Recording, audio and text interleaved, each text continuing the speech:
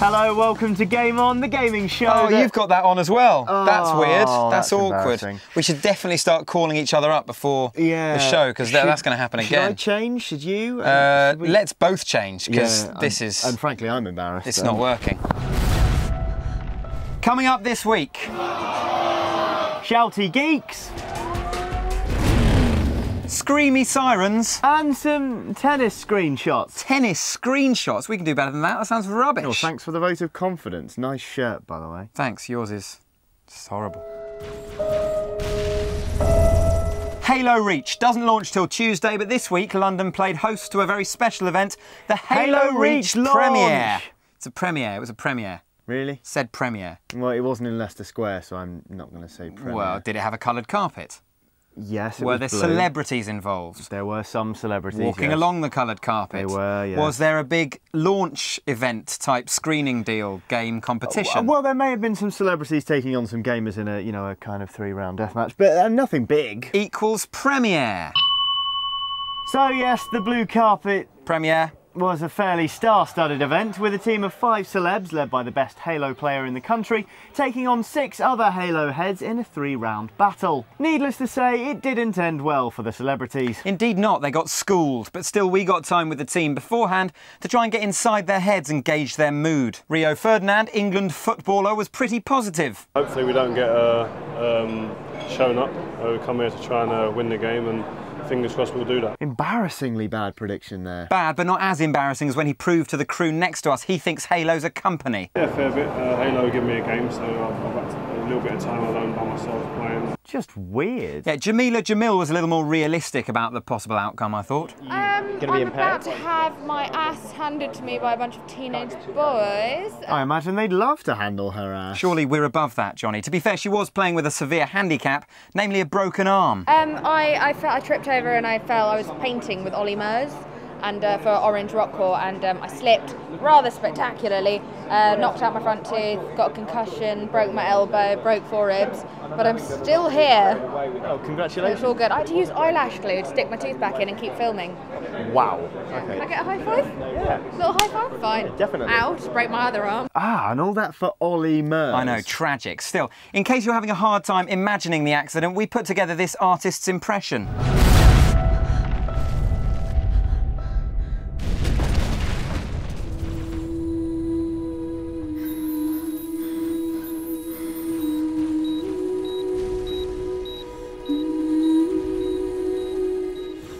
Uncanny. Tell me about it. Moving on anyway, we then spoke to Mr. Hudson, fat tune maker and auto tune extraordinaire. To be honest, he almost sounded like he wanted to lose. I'm probably going to let the side down, but I'm going to I'm going to compete with spirit and flair, and I'm going to be conspicuously uh, ineffective. Conspicuously ineffective. Yeah, he was. He also clearly didn't have his head in the game as he was more intent on distracting rugby player Ben Cohen when we asked how he was feeling. I suppose when you're probably going to get humiliated in some way. Well, I'm pretty confident. I'm pretty confident I might do okay, but uh, yeah, a bit, a bit nervous. Shocking. I know. Still, in addition to team leader Luke, the celebs did have one ace in the hole. no, really. Yeah, Jason Bradbury, gadget man and self-confessed Halo head, was on board to bolster the team and help them shoot their way to victory. Or rather, stop the competition from being a total washout. Yeah, the three rounds didn't go well. The first Slayer round went 51-15 to the nerds, and the next fell 64-10. Playing purely for pride in the third round, King of the Hill, the celebrity so-called gamers truly availed themselves. And lost 94 to 27. Stunning. Still, even though the Halo heads absolutely trounced their opponents, they did so in good humour, even giving the winning trophy to the celeb team captain. Well, that's far too sportsmanlike. He would not survive in the field of intergalactic warfare. No, I worry for him. The only time a Spartan gives something shiny and metal to someone else is when it's guaranteed to blow them sky high.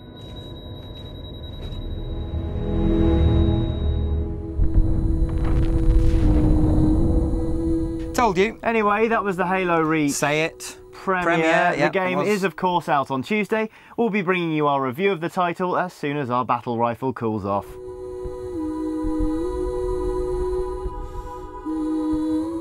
Now, I feel the need, the need for... Therapy. No, the need for... A bath. No, the need for... Drastic cosmetic surgery. No, but it's nice to know what you think of me. The need for speed. It's fast, it's furious, it's got nothing to do with the Fast and the Furious. No, totally different series. This is Need for Speed Hot Pursuit.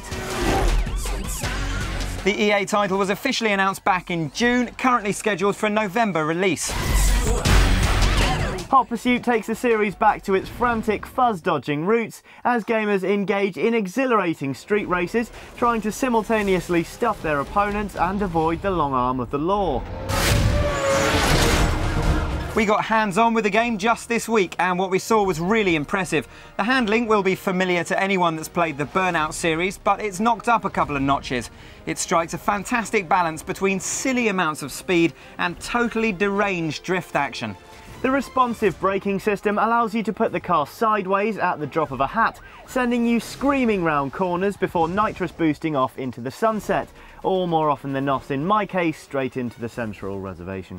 Yeah, well, we didn't see it during our hands on. The game also boasts some impressive on and offline support. The real feather in its cap is the interactive system that constantly updates you on how you and your friends are doing. It allows you to take them on without arranging to meet up online, as you set challenges for each other and try to get the best time.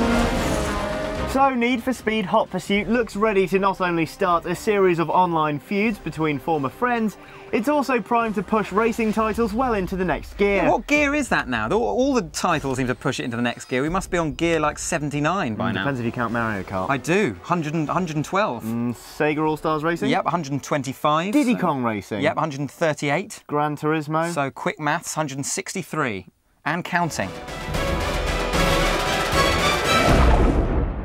There's a big drive at the moment towards motion based gaming. Nintendo got the ball rolling in 2006 with the Wii, and its oh. competitors are now racing to be the next big thing in mindless flailing. Yeah, we've seen a lot of Microsoft's Kinect recently. Mostly because the people in their trailers are easier to mock than anything we've ever seen. But what about PlayStation's dodgy looking Wonder Stick, Move? We managed to wrap our hands around it this week and also used it to play Virtua Tennis 4. Poor, in 3D no less. Now, for 3D cynics like us, not only were the pop-out visuals really impressive, if a little disorientating at times, but the Move controller itself far exceeded our every expectation.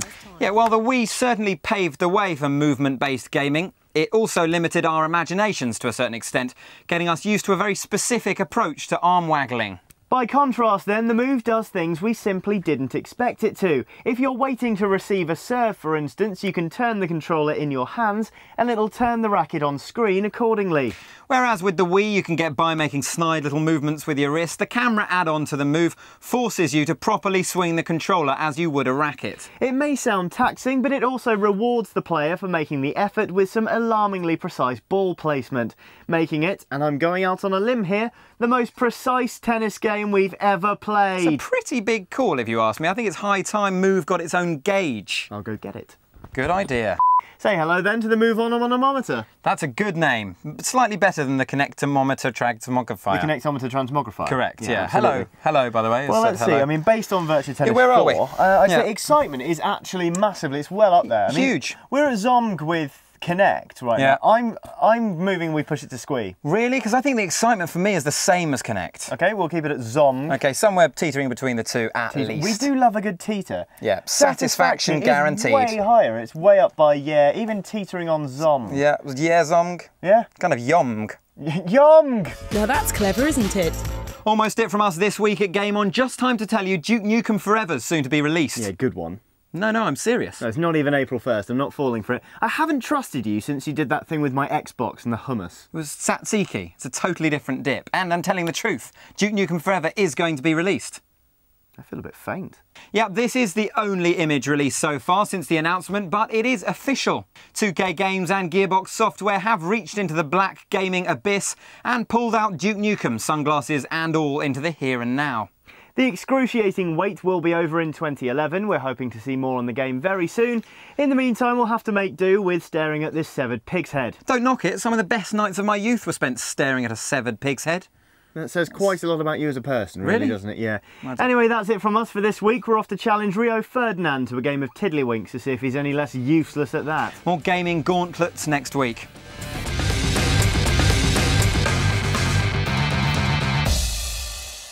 And some tennis screenshots. Tennis screenshots, that sounds rubbish. Thanks for the voice of confidence. Nice shirt, too. There, yours is rubbish. Nothing big. There you go. Those three things um, equal premiere.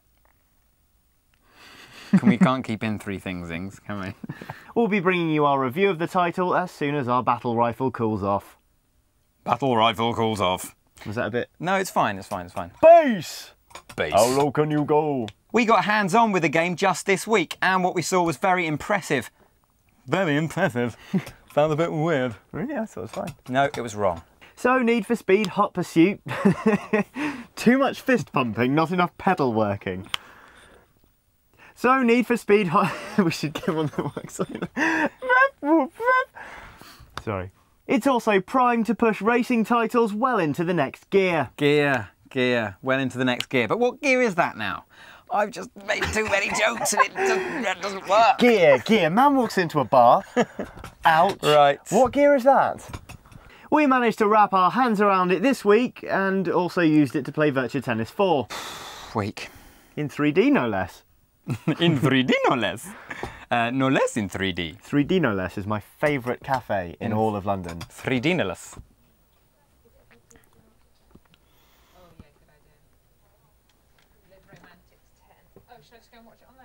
Say hello to the there the where there the there. Say hello then to the move on a mon a minita. Hello. Hi. move on a mon a mon move on a monometer. Move on a minimanometer. I think you should do that. Say hello to the move on a minimanometer. I can't No. do that. I can't do it. I'll Try just, it. I'll do it my way. On a minimanometer. I'll do, I'll, I'll do it way, Monomanometer. If I do it in the way I can say it, then I'll be able to say it. Okay, try and say it If I say it in a way that I can't say it, uh, by definition, you can't seem I to won't say be able anything. say it. Say hello then. Hang on. Whoop.